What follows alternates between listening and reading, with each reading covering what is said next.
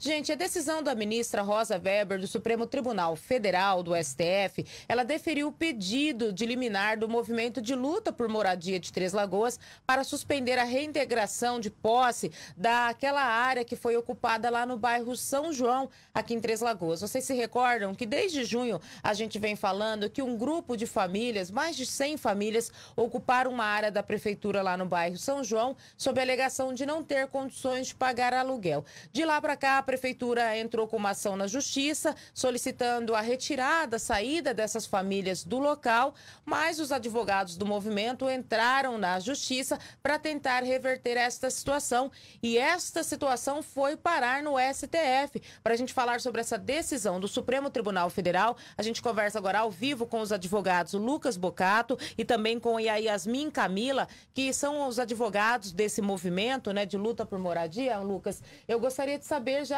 o porquê dessa decisão, por que vocês tiveram que recorrer ao Supremo. Bom dia, sejam bem-vindos. Bom dia, bom dia a todos os ouvintes. É... Nós recorremos dessa decisão por conta de uma liminar que já existe dentro do STF, numa ação de, direta de preceitos fundamentais, no qual é, suspende todo o processo de desocupação de imóveis em razão da pandemia. Nós alegamos tanto aqui no primeiro grau quanto lá em Campo Grande essa situação, porém não foi é, acatada pelos juízes. E nós, é, como contraria o STF, nós reclamamos ao STF que a decisão deles não estava sendo cumprida aqui em Três Lagoas. E aí nós prosseguimos com essa ação de reclamação. E essa decisão saiu na sexta-feira? Sim, sim. Saiu na sexta-feira.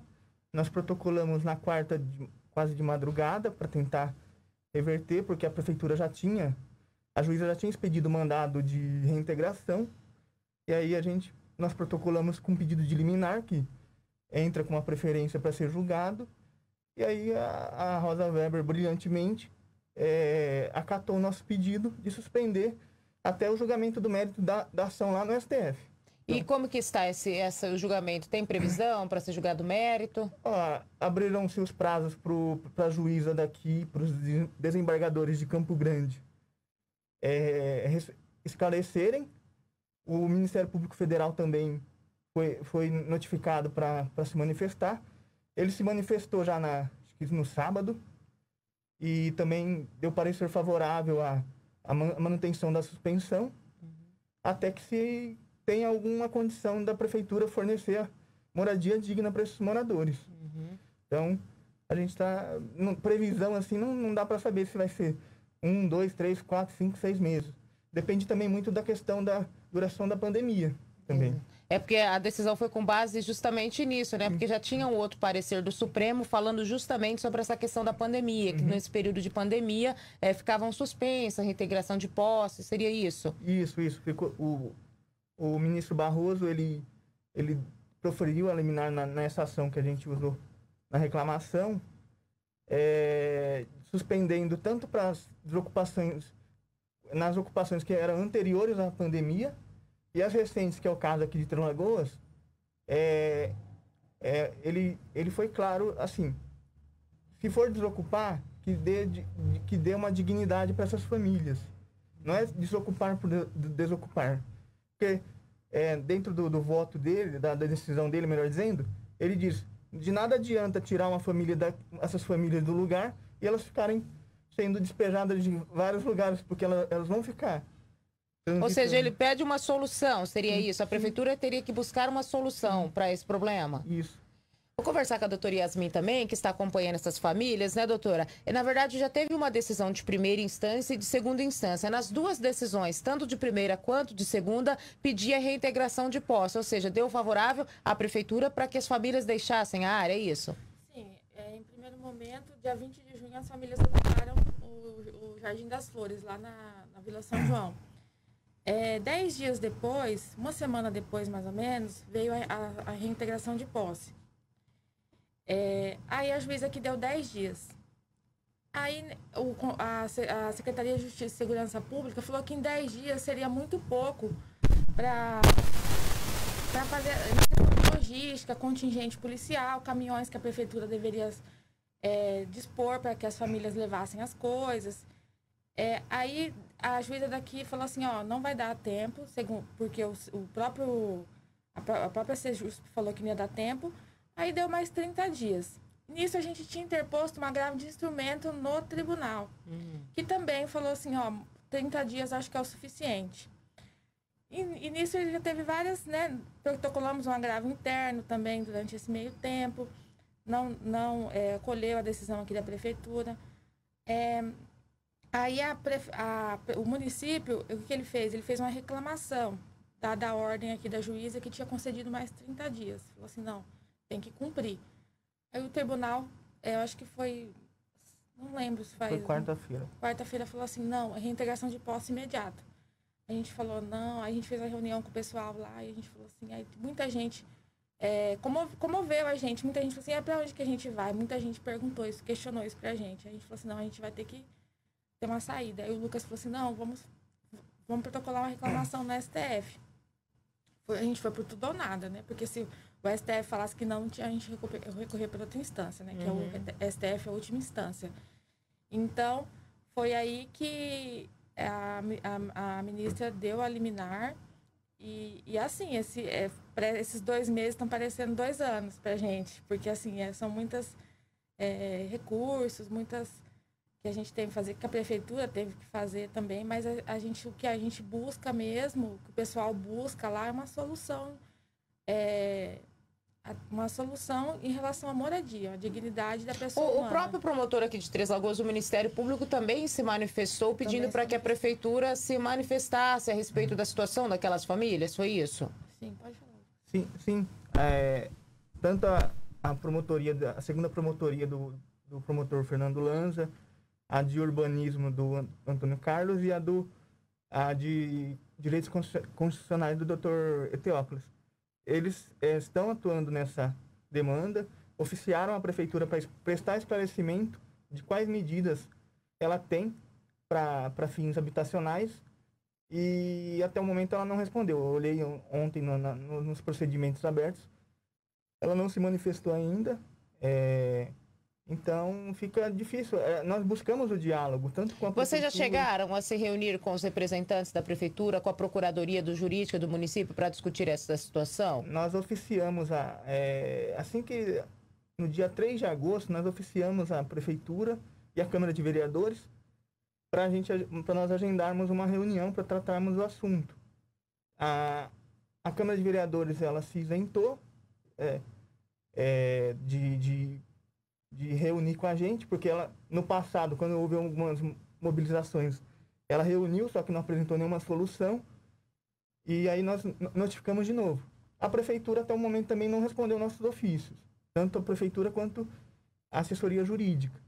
E aí nós queremos buscar um diálogo para construir uma saída não só para aqueles moradores, mas para a política habitacional do município.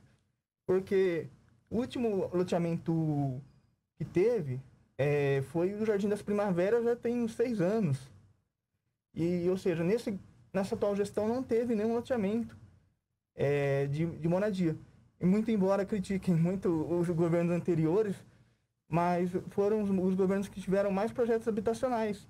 Novo Oeste, é, Orestinho, é, o Jardim, o Jardim Violeta, esses, esses, esses conjuntos habitacionais foram e a, e a arrecadação do município era, em tese, menor. E conseguiram viabilizar políticas habitacionais.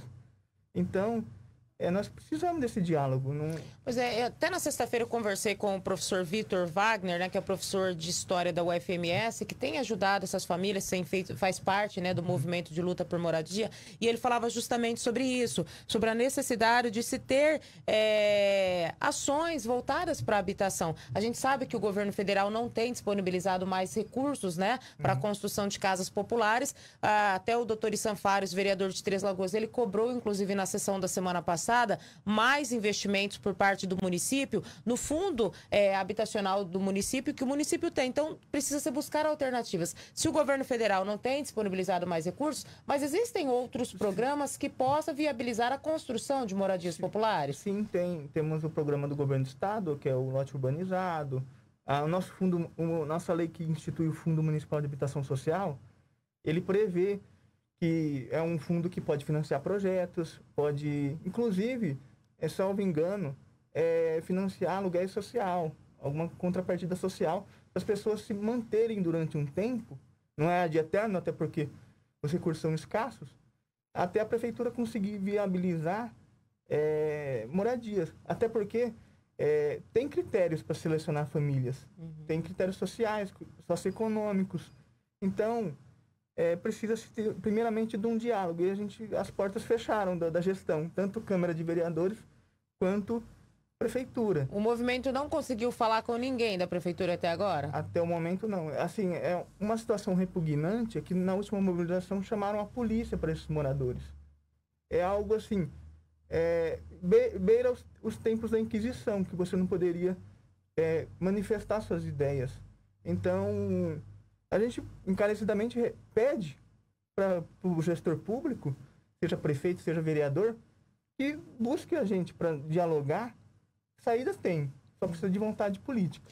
É, a gente sempre fala aqui que é claro que em todos os lugares existem as pessoas é, que dizem a verdade, que falam a verdade, aquelas que não. A gente sabe que tem pessoas que precisam e tem aquelas que não precisam, que fazem parte desses movimentos. Mas aí que precisa ser feito um levantamento sério, criterioso, para analisar a situação de cada um, verificar quem já foi beneficiado com casa popular e vendeu, ou quem realmente precisa, porque a gente sabe que o problema social ele existe. Não dá para fechar os olhos e falar que não existe um problema social, que não tem pessoas passando por dificuldades em Três Lagoas, que é mentira. O problema social existe, tem famílias que realmente não têm condições de pagar aluguel, tem famílias lá com quatro, cinco crianças. É complicada a situação, né? Sim, são famílias realmente que necessitam. Questão de, de verificar quem já recebeu, quem não recebeu, os governos anteriores, é, com o advento do, do CAD único, se filtra. Você tem um CAD único, a pessoa já. Na hora que você abre o cadastro dela, você uhum. consegue ver se ela já recebeu é, algum benefício de, habitacional, e aí já exclui. Exato. Então, é, é, as ferramentas têm para se evitar. É, é, construir parcerias políticas é, e, e, buscar uma política, uma, uma saída política para a situação, não só jurídica, ficar esperando definir o processo. Uhum. Fica capenga a política pública. Eu vou esperar a decisão judicial, mas tem que se. Certo. Vocês acham que essa própria área, por exemplo, lá no bairro de São João, ela poderia ser destinada à moradia popular? Sim, ali é uma ZEIS. O que é uma ZEIS? Zona Especial de Interesse Social. A, a, o Estatuto da Cidade, ele, ele rege, ele tem algumas é, determinações sobre as ZEIS. O nosso plano diretor tem também, se não me engano, artigo 57, no qual a destinação é para moradias ou assentamentos populares. E ali é uma, é, pelo plano diretor, é uma ZEI. Ali poderia a Câmara de Vereadores e o município fazer a desafetação daquela área e para destinar para moradia popular. Isso e o, o, o, prefeito ele tem uma ampla maioria dentro da do legislativo, então seria muito simples, uhum. entendeu? Seria conturbado se ele tivesse minoria, mas ele tem apoio político aqui no município. Bom, e quando a gente fala de, de moradia, claro que vocês estão defendendo, nesse caso, as famílias que ocuparam essa área da prefeitura no bairro São João, mas a gente sabe que existe uma outra área também que foi ocupada por famílias que alegam não ter condições de pagar aluguel, que é aquela área na saída para a Brasilândia. Já é uma área particular, esse processo também já se arrasta na justiça há mais de quatro anos, cinco anos já. As famílias construíram barracos, tem até casas lá, e também não tem uma decisão ainda. São mais de 300 famílias naquele outro movimento. Então aí é que a gente fala que o problema social existe e que alguma coisa precisa ser feita. Eu já tentei por algumas vezes conversar com alguém da prefeitura, entrevistar alguém sobre esse assunto. A prefeitura prefere não se pronunciar nesse momento sobre essa situação, sobre essa ocupação, né? Ali no bairro São João. Enquanto isso, a gente continua aguardando e acompanhando todo esse processo jurídico, né? Porque hoje isso está na justiça. Vocês acreditam que essa decisão da ministra vai perdurar por quanto tempo? Olha, eu, eu preciso comparar com os demais processos. Mas é, em razão do Supremo ser uma corte que chega a problemas do Brasil inteiro para se decidir, acredito que tem um tempo aí razoável. Arrisco, posso estar equivocado, do, no mínimo três meses. Posso estar equivocado porque eu preciso uhum. analisar, sentir o processo.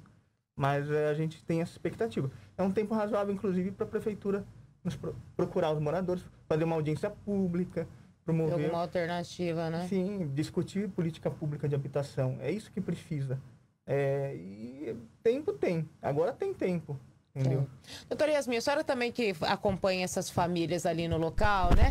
Qual que é? Quantas famílias são no total e qual é a realidade da maioria das famílias ali? Ali, é, eles falaram pra gente, porque a gente, eles, eles mesmos se organizaram e fizeram um cadastro. Falaram que tem 180 famílias. O que acontece? Tem muita gente ali que tá com ordem de despejo. Tem gente que tem um carrinho, um carrinho assim, tá morando dentro do carro, lá no, no assentamento. Tem muita criança, eu acho que você já foi lá uhum. algumas vezes, viu? Tem muita criança, tem família lá com. Né, tem recém-nascido, tem. Então, assim. É... Porque assim, a gente pode até pagar um aluguel, mas assim, é, por exemplo, uma família paga um aluguel de 400 reais, mas tá faltando, tá faltando uma comida na, na mesa deles, entendeu? Então não adianta assistência social vir nas, nas manifestações e tentar apaziguar com cesta básica. Ah, vamos fazer o cadastro, né? Que a gente até falou da lei que a gente considera inconstitucional, que é do ano passado, que, que suspende essa, a pessoa que fizer o direito de manifestação, que, que invadir, né, entre aspas, ocupar uma área, ela é suspensa desse cadastro de habitação por quatro anos. Então tem muita gente ali que não quer falar o nome, que gente que não quer, com medo de ser suspensa desse cadastro de habitação. Porque tem gente ali que está 12 anos no cadastro de habitação. É, na verdade, existe uma lei municipal, né, uma lei aqui da Prefeitura de Três Lagoas que proíbe ocupações, né? uhum. né? Essa lei diz que se a pessoa ocupar uma área, invadir uma área pública, ela fica proibida de participar de qualquer processo habitacional. Daí explica talvez a dificuldade de algumas pessoas em se exporem, Isso. né? É, porque é uma punição que a gente considera inconstitucional. A gente teve é, reuniões com o Ministério Público, o próprio Ministério Público falou assim, nossa, a lei é claramente constitucional, mas aí depende de alguém que, que tem o poder, né? Que tem é, para arguir essa, essa inconstitucionalidade. Por exemplo, eu, você, a gente não pode. Tem alguns, né, por exemplo, é o Ministério Público Federal, algum, algumas entidades, partido, partido, é, partido político, representação no Congresso Nacional e etc. Então, elas são, elas são coisinhas assim, mas que a gente está vendo é, que a gente pode fazer, pode provocar alguma entidade para que elas possam é, arguir essa inconstitucionalidade dessa lei. Porque ela deixa as pessoas com medo, né? Uhum. De se expor, talvez até de fazer um cadastro na, na assistência social. Porque ninguém quer perder. A gente sabe que. Imagina uma família é, um chefe de família que está lá 12 anos, fala assim, não, você, vai, você pode perder por 4 anos, já está 12 anos, você que mais, né? Uhum. 16 anos aí e, e olhe lá para conseguir alguma moradia. Inclusive, na nossa defesa, no, no, no agravo de instrumento, nós arguimos é, a inconstitucionalidade dessa lei, porque ela contraria plenamente a Constituição Federal, principalmente manifestação de pensamento.